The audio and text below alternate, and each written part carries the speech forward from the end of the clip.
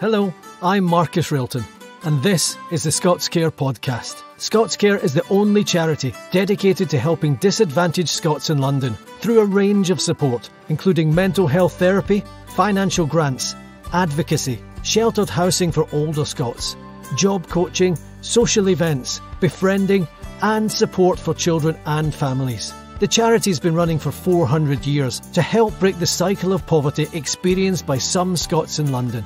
In this series of the Scots Care podcast, I'll be chatting to celebrities and supporters of the charity that have forged a life often away from Scotland and about the ups and downs that can bring.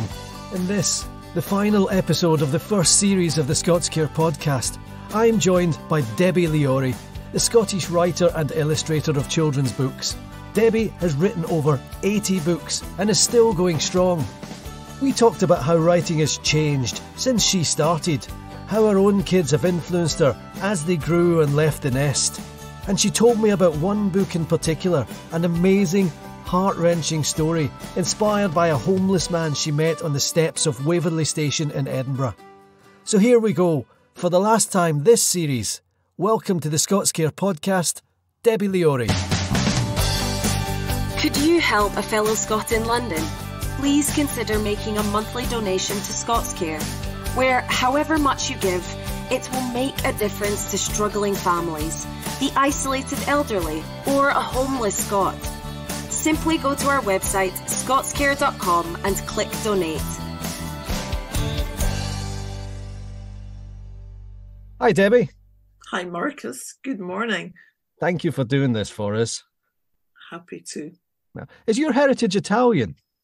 Yeah, well, it's a sort of I am a mongrel. So, uh, dad half Italian, half Scottish, mum uh, a quarter Irish, three quarters Scottish, and I was raised in Scotland. I really kind of feel more Scottish than anything else until I go to Italy, whereupon I have a complete character transplant and feel completely Italian.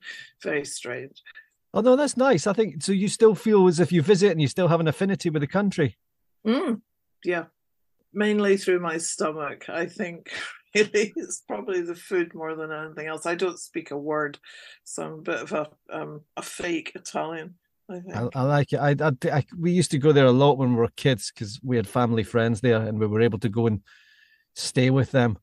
And uh, this is back way back in the, the 70s when my mom and dad used to drive us there to Italy, and it would take three days. And obviously, this is before the internet or devices. And I was trying to tell my kids this. And Noah, my boy, my oldest boy, was saying, well, What did you have for the three days? I said, With a couple of Beanos. And that was it for three yeah. days. and serious car sickness if you even attempted to read them. yeah, and probably no seatbelts, and probably us fighting like cats and dogs in the back for three days constantly. Yeah. Yeah. yeah that was how it was. I mean, and it was fine. We, you know, like you'd make up games, and you know, I'm saying this, but when we went to Italy when I was a kid, we flew um, because neither of my parents drove, so there there was a lot of airplanes and an awful lot of. Um, I was invariably sick as a dog, but every time I went on an airplane, and um, as for the coaches at the other end, you know, let's draw a veil I know. horrible. Well, but you know, I don't think my kids can go anywhere. My kids will say, "Where are we going?" I'll say, "Oh, we're just going to like a local national trust." How far away is it? Oh, it's about fifteen minutes. Right, I'll I'll get my iPad. You're like, well, no, just let's look out the window and appreciate the beauty. And do you know what? There was a time when we drove up to Scotland about a year ago, and we came across and we're about I don't know, we're a bigger Crawford somewhere, somewhere relatively near the border, and it just looked beautiful. And I got so irate with the kids, I actually stopped the car and said, "Right, devices away, kids. Look at these bloody hills," and just to get them to. oh yeah, it's nice, isn't it? Yeah, yeah. Yeah, you will appreciate the the, the landscape. Yeah, you yeah. will. Right. They will eventually. It's just, you know, they're not ready for it yet, I guess. Well, this this somebody said this to me about kids generally that who was it said this to me? They said the best you can hope to be is a good shepherd. You know, don't oh, force oh, your kids into things because I think my, my my oldest boy Noah is 14 and he's choosing his GCSE subjects and I, I I see so much ability in him, but it's like a tsunami of apathy has just hit him And so when I try to force them into things, nothing happens. And somebody said to me, or I read it, I can't remember now, that the best you can do is be a good shepherd. Try and try and eke them in the right direction, and you know they'll find their path in the end. I hope that's yep. right. I th- I I think that is right. I mean, they sort of by nature will resist anything from the suggestions of mum and dad because we are meant to be wallpaper. We're not meant to be major actors in their dramas. Yeah, well, we're recording this to, today, and, and it's a lot of a lot of World Book Days are happening today. You know, the kids, my kids were going to dress, were going to school dressed up for World Book Day today, and my my ten year old Rafe had he's dressed up as a golden ticket from Willy Wonka, he'd, he'd managed to stuff it up his jumper, right? Because he oh. wanted to do a big reveal when he got to school. Oh, so, right. And so he's trying to f- fasten his jacket across it, and he just looks. He goes, "Look, I look really fat. I look like you, Dad." oh, ow! Yes, you do, Ray. Thanks very much. Yeah. Yeah, cheers, mate. Oh. Can I can I start with a quiz question? Do you know how mm-hmm. many books you've published? Um, I know it's over eighty but I have actually um numbers were never my strong suit, and I think after about fifty, I just kind of lost interest in counting. But yes, a lot. Uh, yes, I read. I think it was the Bloomsbury publishing website. I read over eighty, and in the UK alone, you've sold six hundred thousand books, at least six hundred thousand books. Now, I was thinking about to publish one book is such a thrill. It's such an amazing thrill and you've published so so many do, do you still get a thrill when you see a new one coming out um what do i get? It's it's been kind of sidelined that that sort of thrill by i suppose by the pandemic like so many things in our lives have been but um having having had a book come out in the middle of the pandemic was um an experience never to be repeated.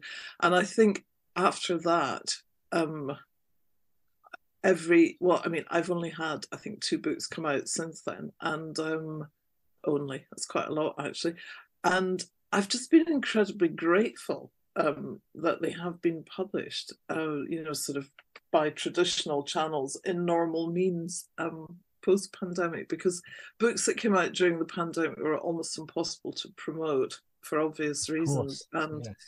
we had we had this ludicrous um situation where publication day came and publication day went and the book in question was a book called the Minimal, which was um, a book about a child and his lost toy and about growing up and still being attached to toys and the toys still being attached to the child and it was a, the sort of story of what happened to the toy in the intervening years and then I'm giving the plot away, but then at the end, the boy and his toy are reunited, but the boy is actually an adult man. And it is honestly, you should, you know, like you need a box of Kleenex uh, to be gifted with every copy. And I find it almost impossible to read it because it is really very poignant and it is all about just sort of growing up and, you know, the things we leave behind us. And uh, when it came out, there was nothing. And I kind of expected nothing um, and then a photograph appeared online from, I can only assume from the, the publisher's publicity department. And it was the weirdest photograph. And I just thought, for God's sake, really, you could have tried harder or you could have just not, because it was a photograph of my brand new book and it was taken in a gutter with, you know, sort of trash and fag ends and, you know, old leaves and you know, dirt beside it. And it was possibly the least glamorous photo opportunity for a brand new book imaginable. It was like, yeah, we read this and here's what you think of it.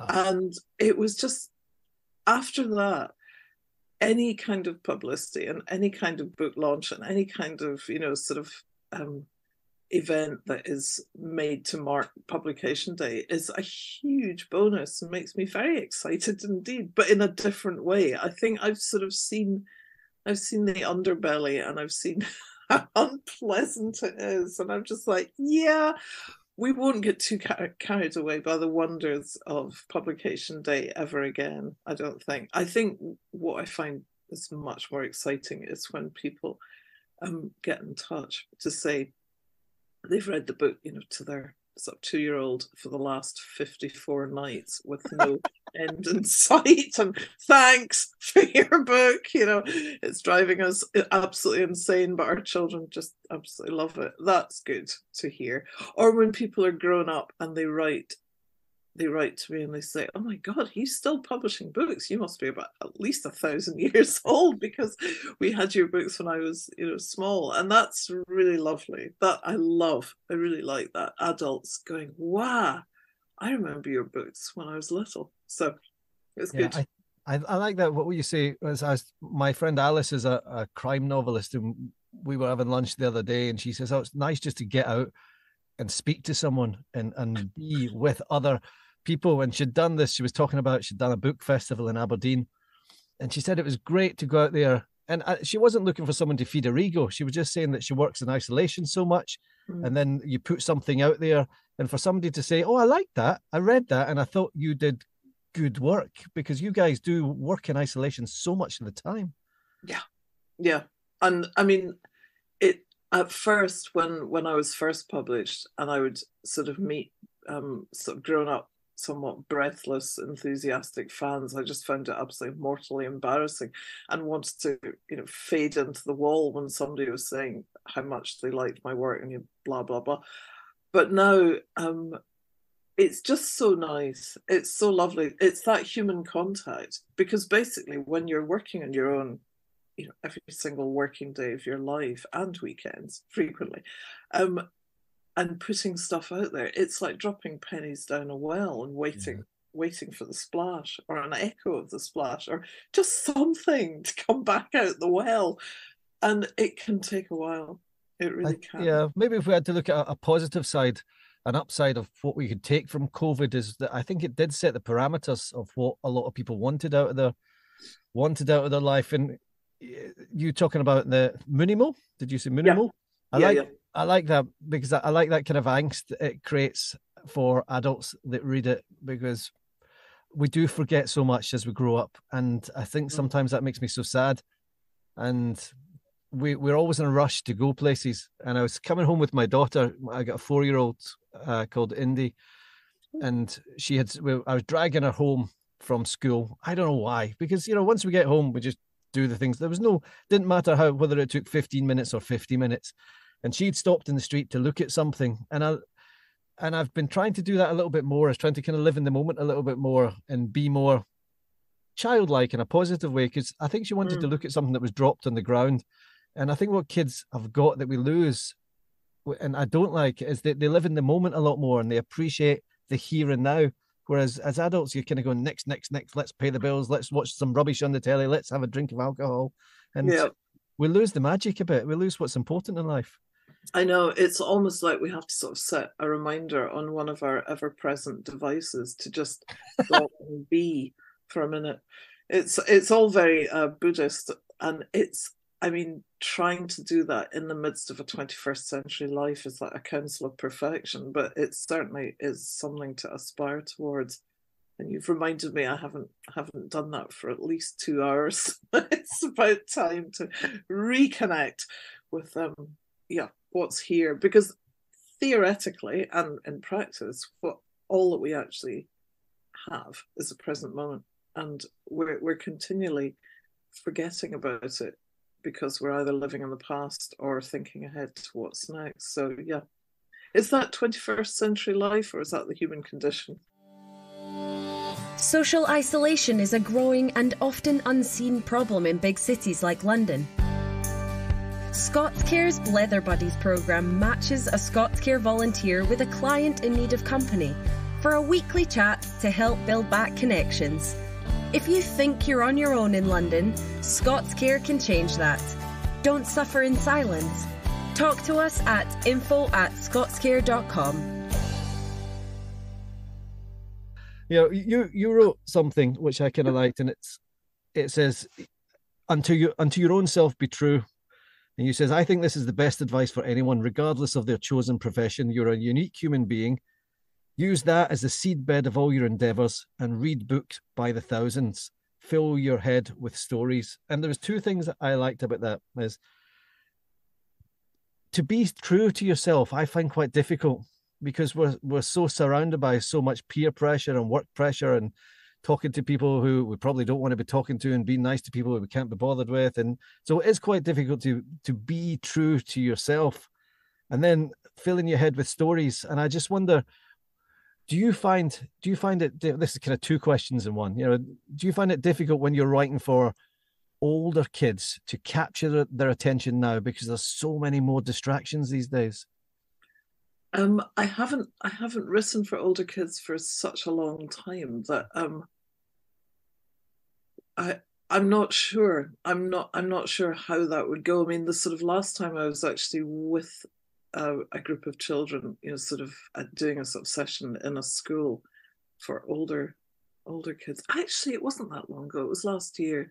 I had to stand in um, at a book festival because a friend of mine was ill, and um, first of all, I had to say, "Guess what? I'm not who you came to see. Big disappointment. It's only me. You've never you've never heard of my books, and I'm now going to have to give you a sort of potted précis of what one of these books is about.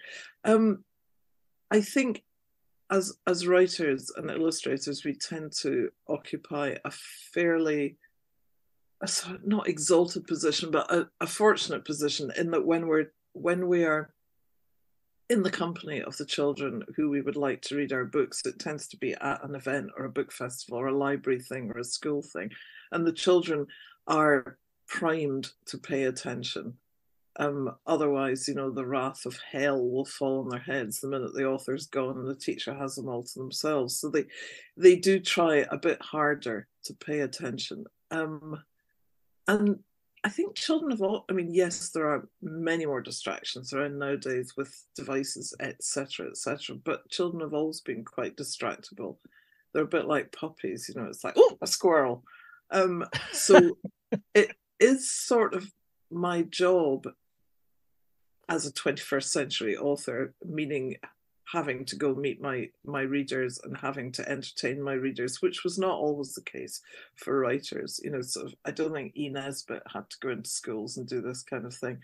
But as as a part of my job, the sort of public facing part of my job, I really have to not not just not just read a book to them or with them or at them, but I have to almost become a stand-up comedian to kind of help the book slip down, you know, with without any sort of children yawning actively in my face or saying, geez, this is crap, you know, surely there's got to be a better way of spending an hour on a Monday morning, sort of thing. so I do kind of big them up, uh, the books, when I'm in the company of children. When I'm actually writing the thing, I'm not writing it for that audience of bored children in a school on a Monday morning. I'm writing it because I want to find out what happens next in the story. And I'm only really writing it for children in that I'm keeping out sort of um, graphic sex and any mention of Anglo Saxon swear words. Otherwise, I'm just writing it for human beings who happen to be smaller than I am. I, I don't make many concessions in what I write for for children's um, vocabulary being you know, at a particular age range. Well, I, I do in picture books, obviously, but when I'm writing for older children, I just kind of tell a story with the language that comes to hand. Yeah. Um, and I do, I mean, my American publisher of the sort of six novels that I wrote for nine plus the Pure Dead sort of series, my American publisher said, Could you possibly provide a glossary for the books just oh, for really? some of the more difficult or arcane Scottish words. And I just thought, really? Do you need that? So I, I did a glossary um, and had a lot of fun with it actually, I, because it was a very sort of snarky version of a glossary. just I, I do do snark at times, but um, so yeah, I've, I've completely forgotten the original question. I'm so sorry, Marcus. No, I think we're just talking about you know about the distractions all around us. And, and, but I think it's interesting you said that because the pure dead stuff, I think you can read that at any age. I don't think it is particularly uh, child centric. And I think when I look at your uh, uh, other books, the picture books, there's other stuff you've written that's really could stood the test of time. You know that my kids have had, and that mm. My three kids have had and have independently come to those books without me saying, and now read this book. And I think, you know what, and I think there's something about certain books that you've written.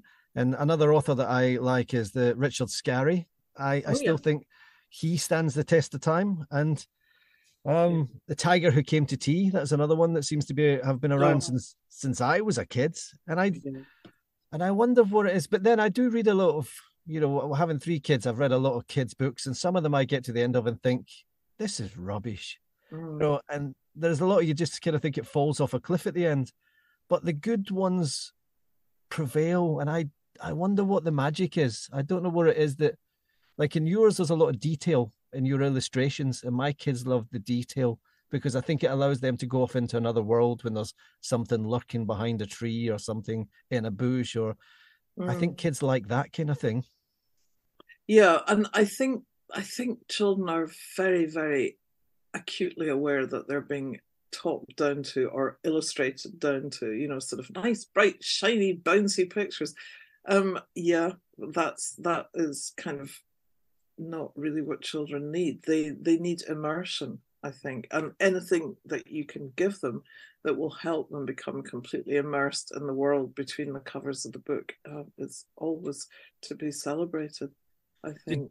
Did, did you grow up as an avid reader? You grew up without mm. a brother or sister, and I wondered whether that made you or shaped you in any way. Did that put? Did that you know cause your imagination to be even greater? Were you um, in your um, own world at that point? I think so because right from the start, my my parents, um, when I was very little, were very devout Catholics, so devout that they thought it was actually completely acceptable to leave me on a Sunday morning for sort of two three hours at a time while they went off to communicate with God, and I was left in my cot as an infant.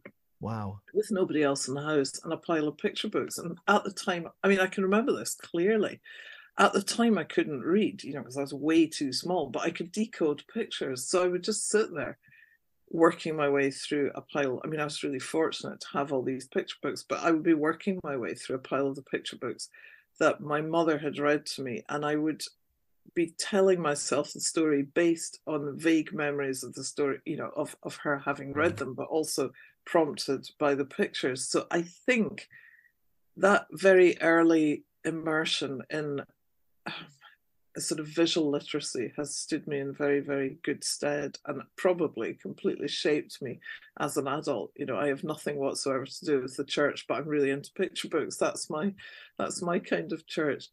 Um, and I found my daughters when they were very, very little both tucked up in the youngest one's bed. The big one had wearily got out the top bunk. Oh, all right, I'll come down and read you. And she couldn't read either. So she was sitting there with this colossal big, you know, it's a collection of fairy tales. I mean, it was adorable. I just I stood at the doorway and just I just loved them. I mean, I will always love them so much, but at that moment I was utterly entranced by my daughters because the big one was reading to the little one, but she couldn't read either. So she was just making up as she went along. And it was just absolutely delightful. So I think, I do think it's modeling behavior. I think if you see your parents reading a lot when you're little, you, chances are you're probably going to be a reader. If you're read to a lot when when you're little, you're probably going to be a reader. But I think if you're abandoned by your a pile of picture books, and the only means of decoding them is via the pictures. That's it. You're doomed. You're going to be an illustrator.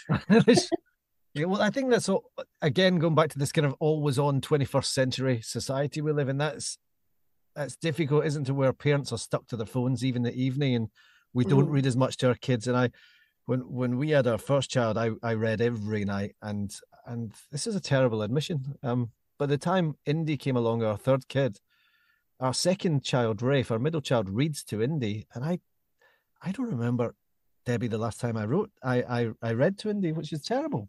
You know, I well, gotta... there you go. Mission statement for Friday: read to your daughter.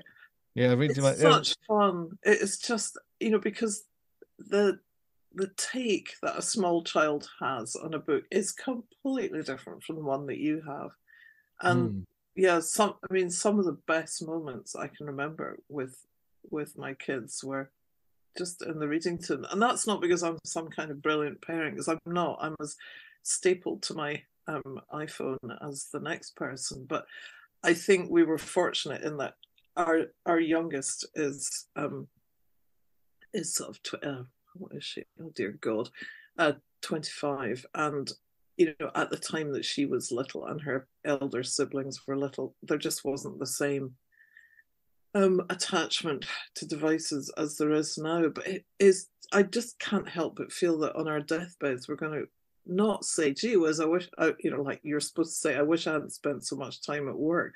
But I think yeah. we're probably going to be lying there going, I really wish I hadn't spent so much time on my phone. Oh, you're doom it's, scrolling through Instagram and looking at pictures of people's dinners. Comparing, comparing our lives to other people's. And suddenly you go, God, what time is it? And you realize you spent an hour and a half. Yeah. And you can't actually remember a single thing of it. It could be Sunday football or Monday piano lessons. Whatever a child wants to learn after school hours, Scots Care has grants to help cover costs. Parents can't always find the funds for those extracurricular pursuits, but there's a good chance Scots Care can. Do you think your writing and your illustrating changed as you've got five children? mm. as as as they got older and as they as they came along and they developed as people did you are they in the books oh boy are they in the books well i mean they're all going to need massive um, um sort of counseling they're older i'm not joking because of the fact i put them all in the books frequently you know um they were woven it into the books right from the start um there was i mean one one case when my my two elder boys were quite little. The eldest one, I think, was nine, and the little the little one was just over one. And we were away on holiday in Aviemore, and their dad had buggered off up a Munro, being a hero, and I was left with the children and my mum, who was you know not for going up Munros or doing anything um, particularly energetic and she she was doing something in the kitchen and my my sons laid into each other and the big one turned to me and said, Oh, I just wish he, meaning his little brother, would disappear.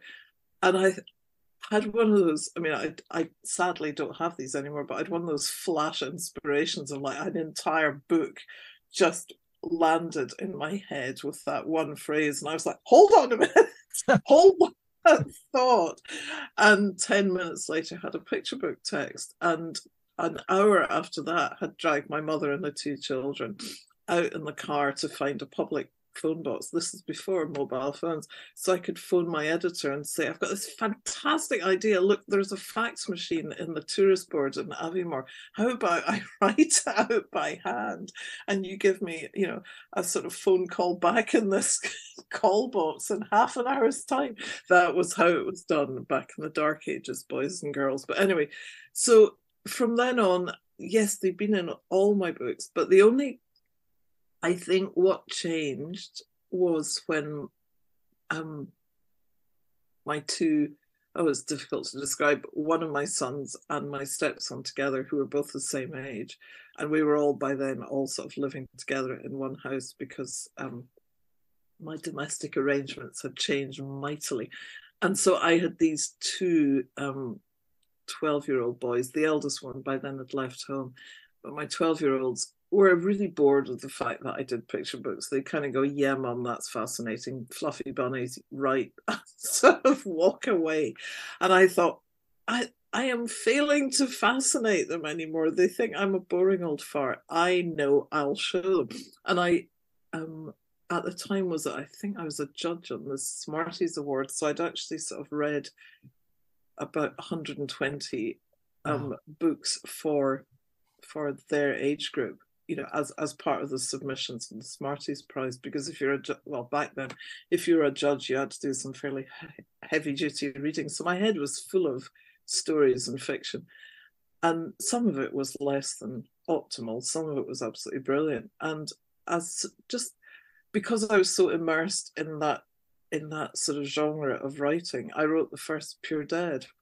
Oh, really? And I wrote it specifically for my two sons, um, my stepson and my youngest son. And I wanted to get their opinion of it. And I mean, I would never have written that otherwise if they hadn't been reading sort of books for that age group.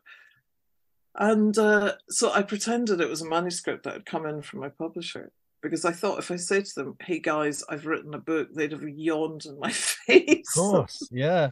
So I thought, well, I'll just tell a lie. And I said I'd been sent this manuscript by um, Random House, and I really haven't got time to read it, but they they wanted some kind of opinion on it. And you know, I've been reading all these millions of books for the Smarties. Could you help me out here?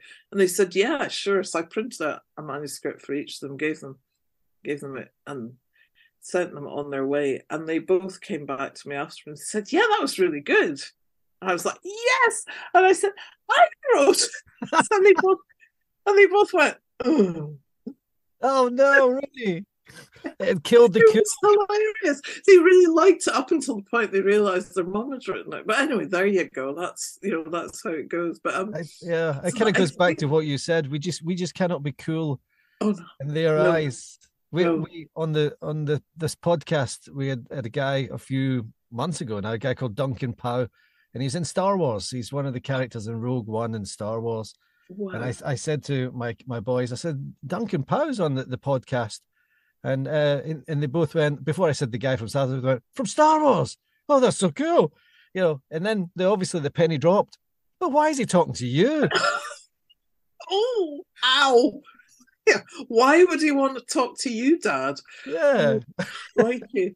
I know it's it, but you know, hang on in there because in later life, actually, they will suddenly come round because what will happen is one of their friends will say, Oh God, I heard this amazing podcast, and it was this guy with the same surname as you doing, you know, as talking to you know whoever, and they'll go, That was my dad, actually. And suddenly their cool quotient will be elevated mightily by proximity to the greatness that is their father. that So would be nice, wouldn't it? Now, you just so have to and be I, patient. you and I have got a, a mutual friend, Etienne, and Etienne was telling me that there was a story you had wanted to write and never got to write, and was sorry, I'm so scatty on the details because I have these kind of strange email conversations with Etienne. Mm. And it was was it about a, a homeless man that you had met in Edinburgh on the steps of Waverley? Oh, I did write it. I Oh, you did write did? it. You have to understand that Etienne and I met at a fiddle um, weekend where where we were being taught several tunes by the amazing wonderfulness that is Catriona Macdonald, uh, fiddler extraordinaire. So both Etienne and I were fairly fried, and the only way to survive one of those weekends because being taught tunes by ear requires a degree of concentration that the human brain really is not. Well, certainly the aging human brain isn't really capable of. And the only way to decompress after each session is with, with uh, generous amounts of uh, single malt. It's a fact. So Etienne and I had many conversations um, over a bottle of single malt, but I, I did write that book. That book is in print, is published, um, won an Oh. award, and was a true story, uh, entirely sparked by meeting um, an ex Kosovo uh, veteran who used to sit at the top of Waverley Steps, and um, he was homeless, and he had almost. It was almost like his entire CV written out on cardboard boxes and tied to the railings. There used to be railings at the top of Waverley Steps. Um, there aren't railings there anymore. But when um, Darren was alive, uh, there were, and he would just sort of sit there, come rain, shine, snow, hail, sleet, etc. And he had the most beautiful face I think I've ever seen on a human being. He he had just a face that if I was a painter, I'd want to paint. But as a fellow human, I just marveled at how beautiful he was, and just how impossible his life had become. Um, not not only having seen active combat and obviously having been quite mentally scarred by it, hence living living on the street.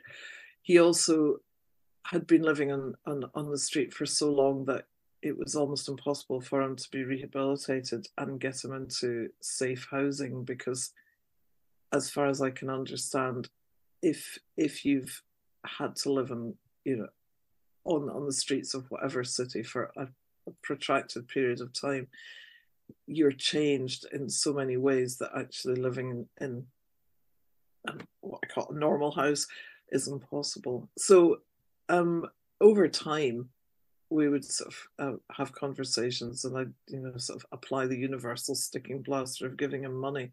And I would occasionally come home and say to my partner, this is desperate. The poor man, it's freezing cold. You know, he, he um, is too frightened to go into the homeless shelters because the other residents are frankly terrifying. And he was quite a gentle individual and very vulnerable, like so many homeless people are. And um, I would sort of say, you, know, could we could could we house him? Could we look after him? Could we, you know, sort of could I just scoop him up and bring him home and feed him and look after him? And um, no is the answer to that because that wouldn't have worked for Darren either. And you know, so time went by and time went by, and I thought, I thought about him a lot, and I thought, I know what I'll do is I'll write a book about him. I'll for children because you know that's the only kind of book I know how to write. I don't really know how to write for adults, and I what I wanted to do was raise public awareness of the fact that you know you, when you pass a homeless person in the street, they have this huge backstory, and all that you are seeing is the you know like the tip of the iceberg that's poking up above above the waterline. But under the waterline are all the reasons this massive life history that brought them to this horrendous situation where they end up sleeping rough on, on the streets of a city. So um, I wrote the book spoke to a publisher, a Scottish publisher about it. He said he would get the Veterans Association involved. He got quite excited about it and said, Yeah, I think we want to publish this. So I was absolutely delighted. And at that point, before I drew any pictures or anything, I thought, Right, I'm going to go and meet up with Darren and tell him that this is his story and tell him we're going to share the royalties. And it's sort of validation for all the, you know, sort of horrors of war because it was most definitely, is most definitely an anti war book and went into Edinburgh. And um, as I was walking out the Waverley Steps, you know how Princes Street is slowly revealed to you in sort of incremental stages, and I could just see flowers and flowers and flowers and flowers tied to the railings, and I knew when I saw that that he was dead, and he died uh, two days before of septicemia, which is completely and absolutely avoidable, but is also you're at high risk for it if you're living rough on the streets. And that was that was the end of that bit of the story. Um, and it made me, if anything, even more determined to get the book published. And um, at the same time, the Scottish publisher of of it um, began to get cold feet for I, I can't even remember what reason. I think financial really usually boils down to that and I thought, no, this book has to be published. It really, you know, I really want it to be published because, you know, it's all that's really left of Darren. He didn't have any children. He had a sort of he he did have a girlfriend, but she kind of faded out the picture. His family were, you know, sort of saddened, but that was it. You know, and he was a couple of pages of newsprint. Um, you know, Edinburgh uh, homeless man dies on the streets, uh, and that was it. And so it took about a year, a year and a half, and a lot of hard work on the part of my literary agent in London and various publishers around the UK who all really loved the book, saw that it was, um, you know, a very viable subject, but had no idea how to publish it. And the bottom line is, had no idea how to publish it and make money off off it. And then I hit on the idea of working with a publisher that I'd worked with years and years ago when I first began. And it's a woman called Janetta Otterbarry, and she used to be part of a larger publisher. She was the sort of senior editor at Frances Lincoln Books, and she was there for years. And I published with her back then. And she was always a, a publisher of of great principle. She would put her principles before the bottom line, you know, any day. And I thought, I'm going to show it to her. And she had set up in business on her own. She'd left Frances Lincoln and had set up her own list um, called Otterbarry Books. And it, you know, it's a tiny publisher. They couldn't afford to pay, you know, more than about three groats and a halfpenny, but I knew immediately that she was the person who should publish it. And lo and behold, it came to pass. And Janetta loved it, got it immediately, didn't hesitate, said, "Yeah, we want to publish this." So it is. It's now in print, and uh, I am really proud of it. And I really wish Darren could have seen it, obviously, but um, you know, there there's sort of some books that kind of stand out from from the 80 in terms of my thinking. I'm so glad I made that book because I know that it it has heft and power way beyond what you know sort of 32 pages of paper with drawings and words on them should have you know that there are some yeah. books that can change the world in a small way and that's one of them so the whole book is about why war is just so bad for people but i had to do it in a in a way that a small child could understand it and not have nightmares from it of course. So it's it's all in there, but it's kind of coded in a way that a child can understand and get without, you know, being too traumatized by reading it. So I'm yeah, I do love the book. And what did you, it was what did you call the book, Debi? What was the title? Uh, a cat called Waverley, because I put a cat in the narrative so that so that we could so that the story could divide into at the point at which the young man after he's been recruited, he goes off to an unspecified Middle Eastern destination, and the um, the cat, lacking a human to look after it, um, and was living in a flat that became part of Edinburgh's, you know, sort of let's knock down everything old and build new things on top of them. So the cat becomes homeless at the same time as the young young hero goes off to war. And I run I ran the two stories concurrently through the book, so you can see what the cat called Waverley is doing, and you can see what the unnamed combatant is doing, and they only come come together at the end of the book when the young man is back in Edinburgh at the top of Waverley Steps. The cat has waited for him.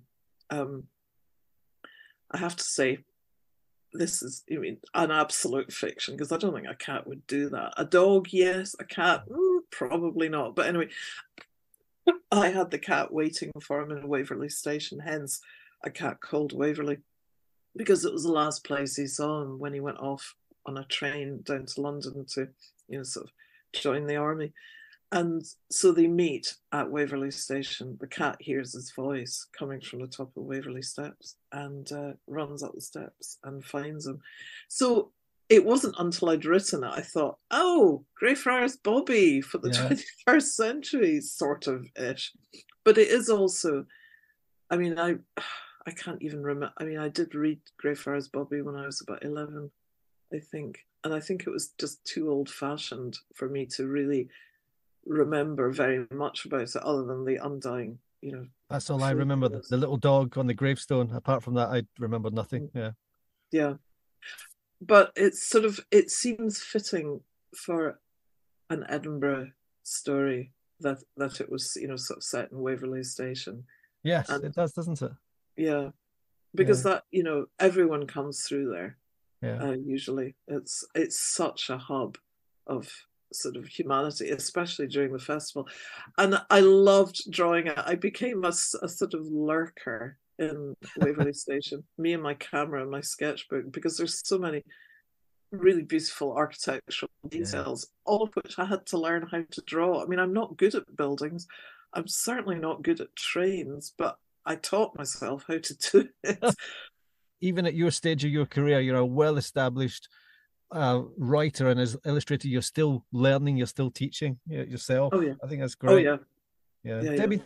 thanks for talking to me today. It's been, I have learned a lot. You know what? Can I, can I end this with another quote from you? And it's something you wrote to me because we're talking we're talking over email, and so often in, in this podcast it comes back to stoicism and i never thought i was stoic until i started speaking to people then i you know i stoicism keeps coming up in my life and i, I like this we, we were talking about kids and you wrote in an email with all five of ours grown and gone it's a very echoey nest full of memories of when they were small and we were younger. Enjoy or blink and you'll miss it. Mm. And I mm. love that.